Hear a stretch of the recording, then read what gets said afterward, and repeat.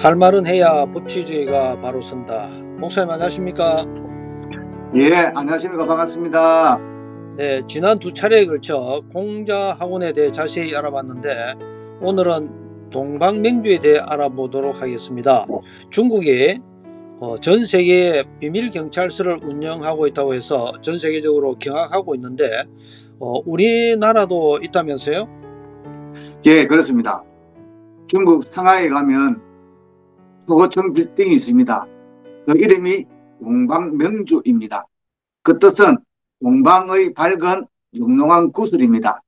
즉 중국 불기를 위해 세계로 뻗어나가는 중국 공산당을 상징하는 이름입니다. 오늘은 자유 대한민국 땅에서 공공의 비밀 경찰서 역할을 하고 있는 중식당 동방명주에 대해서 어, 살펴보고자 합니다. 중공의 비밀 경찰사령부 중국 기반 잠실에 있고 전국 각지에 지방 본부가 있습니다. 그 이름은 동방명주입니다.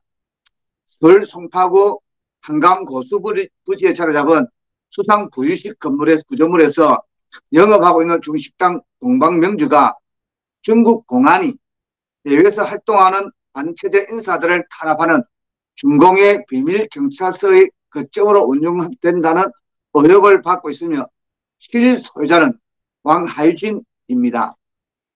네, 동방맹주의 대표이사 왕하이진의 아내가 비트코인을 통한 불법 환치기를 했다고 하는데 사실입니까?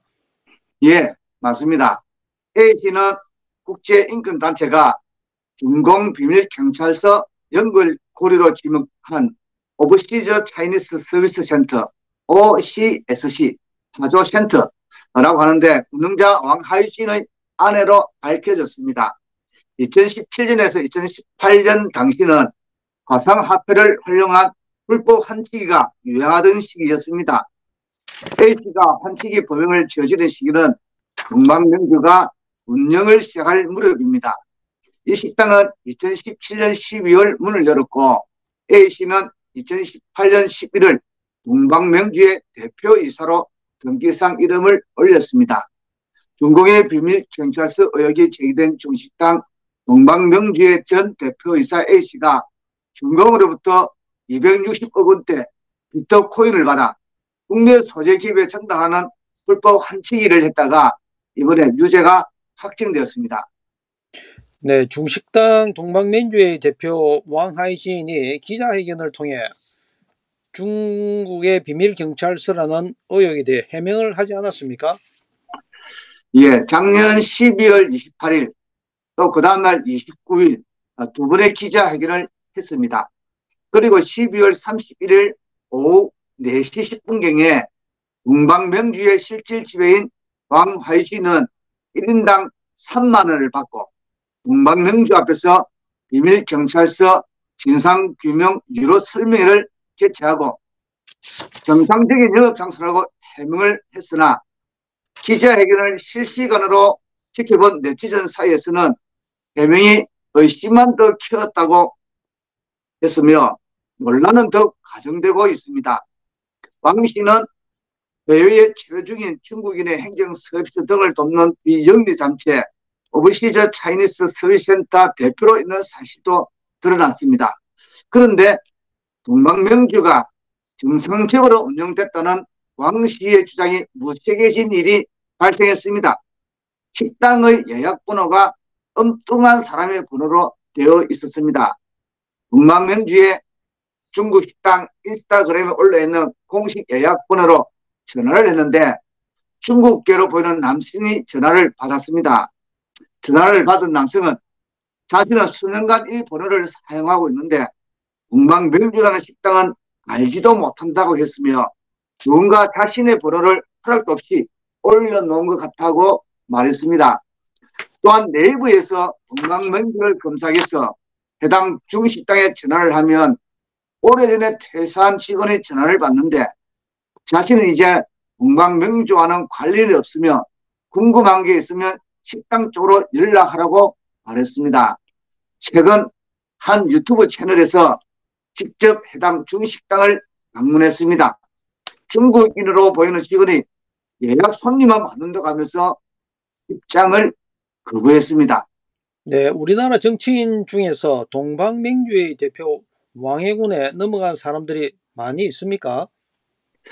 예, 과거 어, 중국 공산당 기간지 인민망 대표 주옥파 역시 무려 10년이 넘게 대한민국을 종횡무진 누비고 다니며 친중 인맥을 구축했습니다. 이 인민망은 온라인판 인민일보입니다. 인민일보는 스스로 중국 공산당의 정책과 이념을 전파하고 홍보하고 선전하는 공산당 기관지라고 밝혔습니다. 이 주요파는 2011년 부임한 이후 눈부신 활약을 했습니다. 서울시, 강원도, 전라남도 등 광역시도와 성남시, 군산시 등 시군구를 샅샅이 흩으며 업무 협약을 체결하고 명예시민증도 챙겼습니다. 전 국민의 반대로 무산된 강원도 차이나타운의 배후에도 주옥파가 있었습니다. 전국 비밀경찰 의혹을 받는 동방명주의 대표 왕해군에 넘어간 유럽 정치인들, 현역 국회의원이 100명이나 됩니다. 네, 그 정치인들은 누구누구인지 말씀 좀 부탁드리겠습니다. 예, 작년 12월 2일 출범한 한중 의원 연맹인데 이 단체에 소속된 국회의원이 100명이 됩니다. 먼저 더불어민주당에 59명이 있습니다. 강덕구, 강병원, 강선우, 고영인, 권칠성, 김경hợp, 김남국, 김두관, 김민기, 김병욱, 김성주, 김영배, 김의겸, 김주영, 김철민, 김한정, 김회재, 노동환, 명성규, 민홍철, 박광온, 박용진, 박정, 서삼석, 서훈, 소병철, 소병훈, 신행령, 안규백, 안호영, 양경숙, 양기대, 어기구, 오기형, 유성곤, 윤건영, 윤관석, 윤영덕, 윤영찬, 윤재갑, 윤준병, 이계호, 이병훈, 이상은, 이용선, 이인영, 이재정, 임종성, 장철민, 전해철, 정태호, 진선미, 최강욱, 최인호, 한정혜, 허영, 홍기원, 홍성국, 홍영표, 의원 등 59명이며 국민의힘에는 35명이나 있습니다. 강대식, 강민국, 금명호, 김성원, 김성수, 김학용, 김형동, 김희곤, 노영호, 박덕흠, 박성중, 백종현, 서범수, 서정숙, 유상범, 유의동, 윤주경, 이달공, 이명수, 이종성, 이현성, 임병헌, 전복민, 정동만, 정희용, 조은희, 주호영, 최성재, 최연숙, 최영희, 최춘식, 최형두, 하태경, 허은아, 항보성희 등 35명입니다. 또 정의당에는 3명이 있습니다. 배진교, 심상정, 이현주입니다. 시대 재단에는 한 명 있는데 조정은 의원이 있습니다. 무소 속으로는 두 명이 있습니다. 김홍걸, 양정숙 등 어, 100명이 참리 멤버로 이름을 올렸습니다. 그다 유상범 국민의힘 의원은 지난달 말 중국 비밀경찰서 의혹이 불거지자 이 연맹에서 탈퇴했습니다. 우파 신자체 CCP 중국 공산당 아홉과 공자학원 실체 알리기 운동본부 공실본에서 중국 비밀경찰서와 공자학원 등과 관련해 침묵하고 있는 정치권을 질타했습니다. 김민호 어, 공자학원 실체 알리기 운동본부 줄여서 공실본이라고 하는데 이 공실본 대표는 국회의원들은 중국 공산당의 비밀 경찰서가 드러나고 중국 공산당의 조정을 받는 자들이 대한민국 구석구석에 압력하고 있다는 것을 우리 국민들은 뻔히 알고 있는 상황에서 그동안 입을 다물었고 심지어 공정의원연맹이라는 것을 만들었다고 비판했습니다. 이들 단체는 서울중구 중국 대사관 인근에서 매주 집회를 하고 있는데 공시원 대표 한민호 씨는 공정의원연맹 구성 100명 중에 무려 35명이 국민의힘 의원들이다.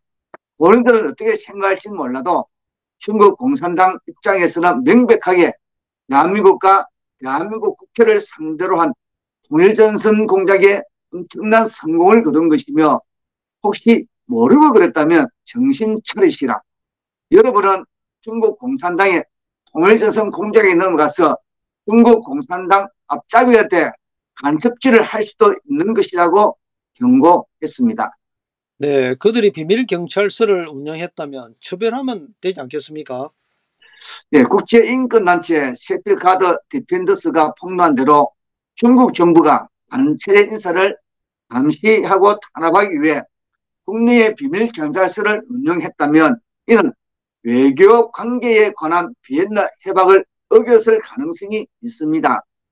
비밀 경찰서가 국내에서 활동하며 폭행, 협박 등 불법을 저질렀다면 형법상 처벌을 받게 됩니다. 문제는 비밀 경찰서 활동이 사실이더라도 형법 외에는 현행법상 간첩죄를 적용할 법이 없어서 간첩죄 처벌은 불가능합니다.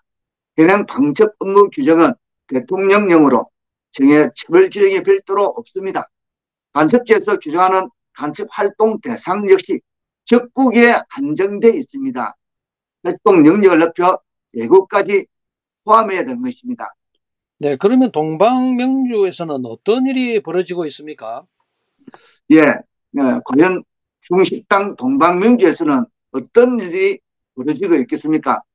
여기서 중공의 시진핑 주석과 공산당에 충성하면서 첫째는 대한민국의 윤석열 정부 자유민주 정부의 약체화를 통한 체제 전복을 노리고 있습니다.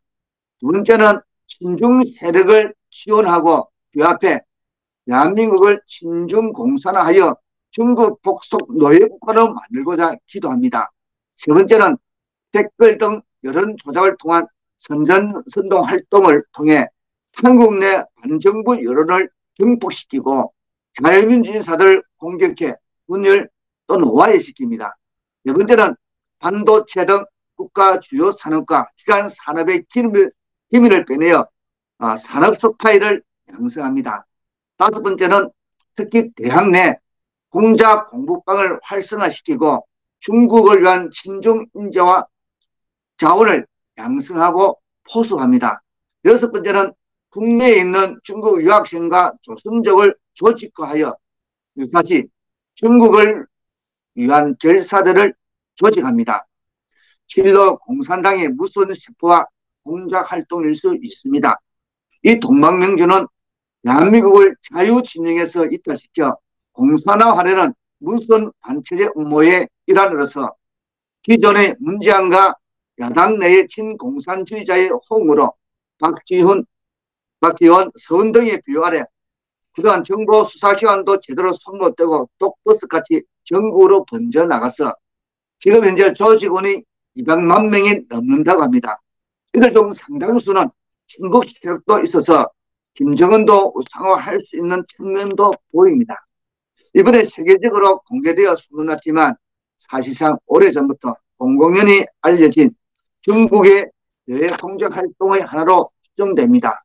앞으로는 좀 더 은밀하게 합법 정치에 계속하여 간첩까지 숨어서 활동하리라고 봅니다. 선의로 접촉하다가 굳이 불식강에 혹시 국익에 손상되는 만국가적 행위를 통하지는 맙시다. 자유 대한민국 국민이라면 응간하지 마시고 이를 참고하시어 그들과 접촉하는 이들을 평시와 다르게 관심을 가지고 유의해 지켜보시기 바랍니다. 경찰은 사회 공공의 안녕과 질서를 질서 유지를 위한 조직으로 그 법적 근거는 일반 통치권에 기인하며 특별 통치권도 있습니다. 특별 통치권이란 국군 통수권자를 경하는 대통령이 명령을 선포하면 국가의 일반적 법적 절차와 제도는 정지됩니다. 일상적으로 경찰이 해야 할 사회 공공의 안전과 질서 유지를 영군이 하게 됩니다.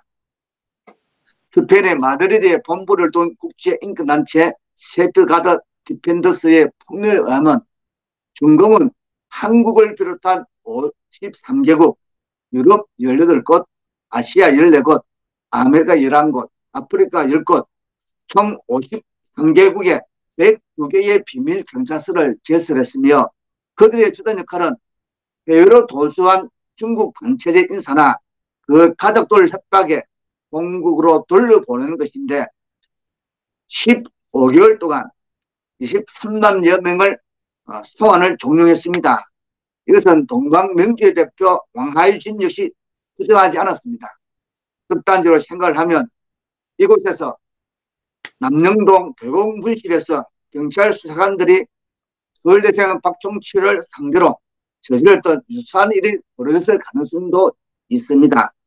그리고 사람을 납치한 후 배를 이용해서 인강을 통해 서해로 빠져나가서 중공의 어분들을 통해 중공으로 보내면 아무도 알지 못할 것입니다. 좌우를 떠나 한국인은 동방명주에 분노해야 합니다. 현재 수면으로 드러난 중공의 비밀 경찰서 운영 의혹은 대한민국을 민주국가로 성립하게 해주는 핵심 이념을 송두리째 부정하는 사건입니다. 지금 드러난 것만으로도 우리는 분노할 이유가 충분합니다. 민주공화국 대한민국의 자존심을 되찾아야 합니다. 방첩기관을 비롯한 정부가 동방명주의 실상을 낱낱이 파악해서 국민들에게 알려야 할 것입니다.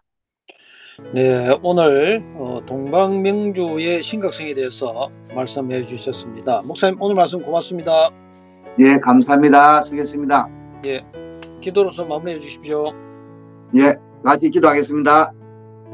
인간의 생사복과 나라의 흥망성쇠를 주관하시는 하나님 아버지 고도는 흐는 붉은 무리들에게서 이 나라를 지켜 주시옵소서 공산주의자들은 영혼을 부정하는 유물주의 사상에 근거하였으며 본질적으로 무신론이며 진화론을 주장합니다. 그들은 공산혁명의 가장 큰 장애물인 기독교를 말살시키려고 했습니다. 그들은 하나님을 그리고 하나님을 믿는 사람들을 적으로 생각했으며 가장 잔인하게 죽였습니다. 그들은 공산화 과정에서 그 소리에 스탈린은 3,500만 명을 죽였으며 중국 공산당의 모택동은 6,300만 명을 죽였습니다. 또한 북조선의 김일성은 700만 명을 죽였습니다. 우리 민족의 역사가 시작된 이후 6.25라는 공조 상잔의 빅을 통해 교회가 가장 큰 상처를 입었습니다. 공산주의 사회인 북조선은 국민의 인권과 자유가 보장되지 않으며 북조선의 정치범 수용소는 많은 기독인들이 짐승 같은 학대를 받고 있으며 신앙의 자유가 없습니다. 영적 지도자인 목사들이 왕매의 천사로 가장한 저들을 분별하여 양들을 하나님의 품으로 올바르게 인도하는 자들이 되게 하여 주시옵소서 예수님 이름으로 기도드렸습니다. 아멘. 예, 목사님 오늘 말씀 고맙습니다. 예, 감사합니다. 예, 내일 또 뵙겠습니다. 네, 내일 뵙겠습니다.